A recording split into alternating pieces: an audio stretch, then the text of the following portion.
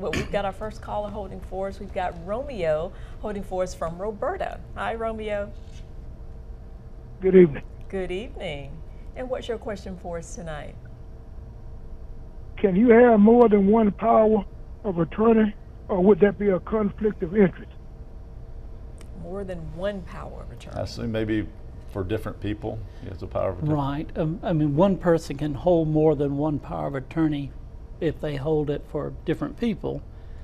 For instance, you might have your mother and your, your aunt or a cousin or something who have all given you a power of attorney.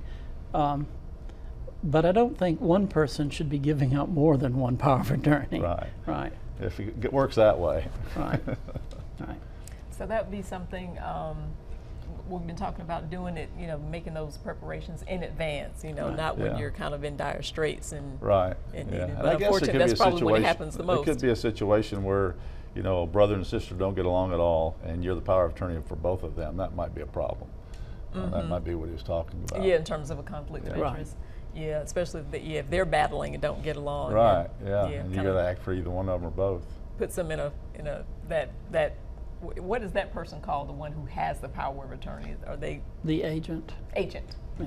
Okay, so the agent, yeah, might be in a pickle. Right. All right, well.